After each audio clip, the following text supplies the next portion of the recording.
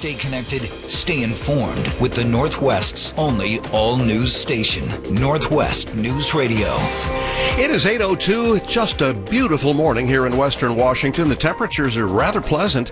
We're looking at 68 degrees in Seattle right now, but hot weather on the way. Along with Greg Hersholt, I'm Manda Factor, and here's what's happening.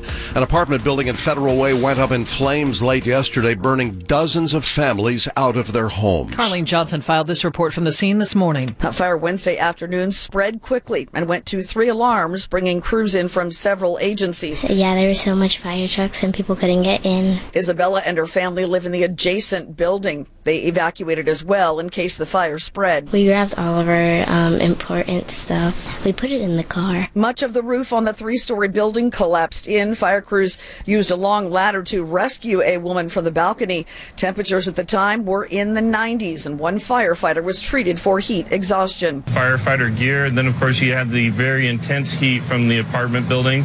Um, it makes it really, really difficult. Red Cross and the city of Federal Way helping the families burned out of their homes here. In Federal Way, Carlene Johnson, Northwest News Radio. Imagine having to work outside during the extreme heat. That's enough of a challenge, but then imagine wearing 60 pounds of gear. Brian Calvert tells us certain first responders really have to be mindful of safety on days like these. As we're wearing shorts and short sleeves to beat the heat, firefighters are putting on heavy coats, helmets, air tanks, and other gear. Then they run into a burning building. Now add an afternoon temperature of 96 degrees. It limits your ability to do extended work just because you're sweaty, you get tired um, you do get beat down a little bit. This firefighter told KATU.com water is key, not the stuff from the hose, but hydration for the men and women trying to beat down those flames. We're drinking about 32 ounces of water every hour. And taking more rest breaks, which you might imagine would be torture for a firefighter, sitting there watching the fire continue and knowing you have to sit out for a few minutes in order to keep your body functioning. We're all ready to perform and, and are doing the best we can. Brian Calvert, Northwest News Radio. Here's what's coming up. Both sides agree the economy's not doing well. I'm Frank Lindsay with where they're placing the blame. At 8.04, let's check the drive. Northwest uh, traffic every 10 minutes. So we get back to the Dubin Law Group Traffic Center. Here's John Nelson. Well, looking at my maps and my cameras, I am seeing the heavy traffic on I-5 in the northbound direction, mid-Boeing Field, all the way through downtown Seattle, past State Route 520. No real surprises there. Slow going Newcastle, off and on through the Renton area. Again, no real surprises there, but plan your trips accordingly. We do have a stalled vehicle taking up the left lane, 405 southbound at Beardslee. That's been there for a while. Traffic slow approaching the scene. A collision reported Highway 7 Alder Cutoff Road in the Eatonville area. Left lane blocked southbound I-5 Main Street in Whatcom County. Something to watch out for there. Again, sunshine glare is an issue, so don't forget those sunglasses. I'm John Nelson. Our next Northwest traffic at 814. Our report this time is sponsored by Clipper Vacations. Get away this summer with Clipper Vacations to Victoria, BC. Enjoy Clipper round trip plus one night hotel from only $256. Kids have price at clippervacations.com. Our forecast from the 1530mortgage.com Weather Center. Here's meteorologist Kristen Clark. This long duration heat wave gets even longer and even hotter. High temperatures will peak in the mid 90s between now and Saturday with one more hot day now on Sunday with highs near 90 prior to seeing the cooling effects of that onshore flow resume Monday. It's next month the heat wave breaks for the Puget Sound lowlands and temperatures return comfortably to the 70s. And if we're lucky, we'll get a few sprinkles out of that morning marine cloud cover Tuesday of next week. In the meantime, our coastal areas stay immune to the heat with temperatures in the 60s for Long Beach and parts of Whidbey Island. In the KOMO 4 Weather Center, meteorologist Kristen Clark. They're going to be sweltering again east of the mountains this morning. In Omak, it's already 85 degrees this morning. Here in Seattle, 67. Bellingham at 62. And in Olympia, it's 61. A lot of people are planning for future heat waves. KOMO 4's Denise Whitaker tells us more about the alternatives available. A heat pump provides both heat and air conditioning, but they're not cheap somewhere in the neighborhood of $15,000 if you're starting from scratch. Ella Zamonska tells me the roofer she contracted two years ago provided her a more cost-effective option. I decided that for us it will be better to keep a different type of vent. That ridge vent installed up on Zamonska's roof is an air exhaust vent that helps provide ventilation. But not everyone can afford that modification or do it if they're renting. That's where the low-income home energy assistance program fills the gaps. It normally helps low income households with heat, but after 112 people died during last year's heat dome, they transitioned this summer to providing air conditioners. We believe we're putting our best foot forward and that we are helping to keep people cool. And hopefully, if we can save even one life by this program, then everything we've done is worth it. Denise Whitaker, KOMO News. Members of both political parties agreed that there are trouble signs in the economy, but they're pointing fingers in different directions. More from Frank Lindsay. President Biden says it's not surprising that the U.S. economy is slowing down. In a statement today, he does not mention recession, even though the country is technically there after the GDP dropped by an estimated nine tenths of a percent in the second quarter. Biden notes the economic slowdown is due to the Federal Reserve taking actions to control inflation, including Wednesday's rate increase. Biden also says the job market is strong and so is consumer spending. But Washington Republican Congressman Dan Newhouse tweeted, quote, Our economy is in poor health and the Biden administration's tax and spend policies are only making it worse, end quote. And he went on to say in that tweet that the government needs to get out of the way so the American people can thrive. Frank Lindsay, Northwest News Radio. So far, the economy has added 2.7 million jobs this year. Billions in green economy investments is what Governor Jay Inslee has been hoping for, and he's reacting now to some new U.S. Senate legislation. More about that from Corwin Hake. Inslee has been advocating for years for a shift from a fossil fuel based economy to an economy centered around renewable fuels. It is clearly the largest growth opportunity for people's careers and maybe the largest transition since we transitioned you know, from the horsepower to steam. That's what he thinks we're getting as U.S. Senate leaders Chuck Schumer and conservative Democrat Joe Manchin agree on a deal to pour $369 billion into climate and clean energy measures. In a statement, Inslee calls the bill necessary to fight climate change and a major step forward. He adds, quote, the nation and the world can rightfully feel a new surge of hope following news of this agreement. Corwin Hake, Northwest News Radio. We're hearing from the pilot who made a dramatic water landing off Alki Beach. KOMO 4's Paul Rivera was there as the plane was towed away. Amazingly, the pilot, John Laporta, who also said he's a flight instructor, was able to get out of that plane unharmed. John, who was flying from Tacoma into Boeing Field, said there was something wrong with the plane, which caused him to have to land it here. All I can say is I lost oil pressure, and then the engine wasn't producing the power it needed. So then I just tried to put it where I could be in a shallow place. And then the people uh, came out the window on the other side, and then the people helped me. John then saying someone grabbed his hand to pull him out of the water. He told us that he works with Alternate Air. It's a rental and instruction business that operates at Boeing Field. We have reached out to them. We haven't heard back yet. Right now, the FAA is also investigating this. Paul Rivera, KOMO News. It's 810. That brings us to the Beacon Plumbing Sports Desk. Nice win for the Mariners. Eric Heinz is in for Tom. Julio Rodriguez hit a go-ahead three-run home run in the seventh inning as the Mariners beat the Rangers 4-2, finishing a three-game sweep. Marco Gonzalez allowed two runs and four hits in seven innings for the win, and can't say enough about J. Rod. I think he's the best, I think he's the best player I've ever seen. Um, I, he's for sure the best player I've ever played with, and I mean when you do stuff like that in the series that he had. I mean, the, just the season he's having, and he's just an absolute blast to play with. Uh, he's having so much fun. Uh, he brings a spark to our clubhouse, and I love watching him play. Matt Festa pitched a scoreless ninth inning for his second save as the M's improved to 11 2 against the Rangers this year. It gets tougher tonight as the Mariners visit the Houston Astros, who swept the M's last weekend. First pitch is 5:10 with Logan Gilbert taking the mound. Seahawks training camp is underway at the VMAC in Renton. Wide receiver DK Metcalf is there, but the team says he's not participating in practice while a new contract is negotiated. Also, former Seahawks linebacker KJ Wright officially announced his retirement. He spent the first 10 years of his career with the Seahawks before finishing with the Las Vegas Raiders last season. And the Sue Bird Farewell Tour stops in Connecticut tonight as the Storm play the Sun. Bird was a college All-American at UConn. Sports at 10 and 40 minutes past the hour. I'm Eric Heinz Northwest News Radio. It's 811, and we'll take a look at traffic and weather for you coming up in just a couple of minutes. Brittney Griner's drug trial in Russia is nearing its end. The WNBA star is expected to receive her verdict at sentencing next Friday. She had pleaded guilty to the charges against her, and she said in court she did not ever intend to break any laws. I was in a rush packing. Um, like I said, I was recovering from COVID, stress packing, making sure I had my COVID test, jet lag, and I was in a rush throwing my stuff into my bag. She testified that when she arrived in Russia five months ago, she was held for hours without an attorney for allegedly carrying vape cartridges with cannabis oil in them.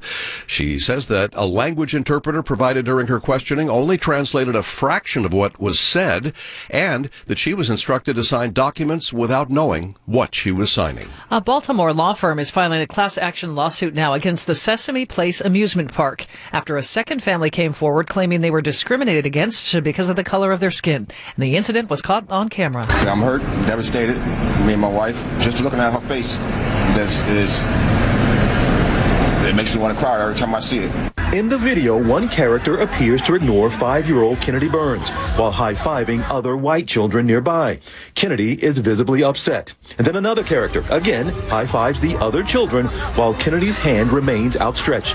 We stand here before you today simply trying to fight and protect little black children and their fundamental civil rights. The Baltimore family says they came forward after seeing this viral video last week, posted by the mother of one of these two girls, showing character Rosita high-fiving white park goers, then gesturing no to the two little black girls and walking away. That family has also hired an attorney. In response to that video, Sesame Place issued a statement saying they are committed to making this right, adding they will conduct training for our employees so they better understand, recognize, and deliver an inclusive, equitable, and entertaining experience to our guests. The Burns family says that instance was all too much like what they experienced during their trip to Sesame Place in June. The lawsuit filed Wednesday against SeaWorld Parks and Entertainment, the parent company of Sesame Place, alleges the park engages in pervasive and appalling race discrimination against children in the operation of Sesame Place Philadelphia. These are the characters that taught our children, that taught me, that taught all of us how to be a friend, how to love people. The suit claims Sesame Place broke a contract to park goers who bought a ticket and violated the Burns civil rights. The reason they didn't get the experience they paid and contracted to get was simply because of their race. Sesame Place says they will review the lawsuit and are committed to deliver an inclusive, equitable, and entertaining experience for all our guests. ABC's TJ Holmes. 814 right now. We bring you traffic and weather every 10 minutes on the fours, and John Nelson is in the Dubin Law Group Traffic Center. Yeah, it's a bright, sunshiny day. Don't forget those sunglasses. We had a disabled vehicle 405 in the Bothell area right around Beardslee. Looks like that for the most part is cleared, but uh, traffic is still heavy approaching the scene. A collision on the shoulder in the Ferndale area. Maybe a distraction for drivers. Uh, again, that's mostly off to the shoulder, but I think state troopers are still on the scene, so that'll be a big distraction for drivers. Also in Pierce County, watch out Highway 7 Alder Cutoff Road for a possible blocking collision as well. Our next northwest traffic at 824. Our report this time is sponsored by Beacon Plumbing, Heating, and Electrical. Call Beacon today and save $50 on all heating and air conditioning. Just call 1-800-FREAKIN and stop freaking. Call Beacon. Now to the forecast from the 1530mortgage.com weather center. The excessive heat warning is still in effect, and it looks like it will be in effect through Saturday now. High temperatures today, tomorrow, and Saturday between 90 and 95 degrees. Overnight lows here in the Seattle area, mid to upper 60s. East of the mountains, well into the triple digits for the next three days or so. And lots of fog on the coast where high temperatures will probably be in the 60s there. That cool weather on the coast eventually will slide into the Puget Sound area by Monday when we expect a high temperature of 75 with partly sunny skies. It is mostly sunny and warmed up to 67 in Seattle now. Stay connected, stay informed. This is Northwest News Radio 1000, FM 97.7. It's 816 right now. Greg Hersholt and Manda Factor here on this Thursday morning, along with Frank Lenzi at the editor's desk. The Senate's second highest ranking Democrat has tested positive for COVID. Majority Whip Dick Durbin says he is isolating with minor symptoms and expects to work remotely. The veteran Illinois lawmaker also noted he's fully vaccinated and boosted. And the United States is currently seeing about 450 COVID deaths a day. That's about 100 more daily deaths than the country was recording this time last year. Cases have risen more than 16%. Deaths have increased more than 18% over the past two weeks. Former President Trump is asking a federal court to rule that he has absolute immunity from lawsuits pertaining to the speech he gave before the Capitol riot. In documents filed yesterday in the D.C. Circuit Court, Trump's attorneys claim the actions of rioters on January 6th of last year do not strip President Trump of immunity. In a surprise move, West Virginia Senator Joe Manchin announced that not only had he reached an agreement with Majority Leader Chuck Schumer on a major health care focused spending package, he had also signed on to climate and energy provisions. ABC News White House correspondent Karen Travers is with us on our Northwest News line. How the heck did this happen, Karen? Yeah, I mean, this is pretty incredible. It was a major breakthrough. And, you know, it seems certainly like a reversal from Joe Manchin. He did an interview with Punchbowl News in D.C. and said that he was never out. He hadn't walked away from the table, that he was working with Chuck Schumer and was trying to get to a place where he could uh, get to an agreement on this. But certainly Democrats and White House officials you've been talking to over the past couple of weeks felt like he was out and that uh, this agreement uh, was very elusive and that anything resembling this type of significant legislation was dead. It was not going to happen. But now they've kind of pulled a rabbit out of the hat and they have announced an agreement on this domestic agenda that would include $370 billion for energy and climate initiatives that Democrats say would reduce carbon emissions by roughly 40% by the year 2030. This legislation would allow Medicare to negotiate the prices of medication for the first time, capping out of pocket cost at $2,000. It includes $64 billion to extend subsidies for people who buy health insurance under Obamacare.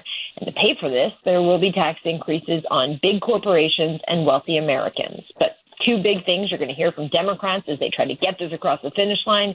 They say it tackles two major things climate change and inflation. And that second thing, inflation, that was, of course, the big priority for Joe Manchin, which is why he was squeamish and why he walked away from negotiations so many times because he didn't think you could spend money while inflation was so high.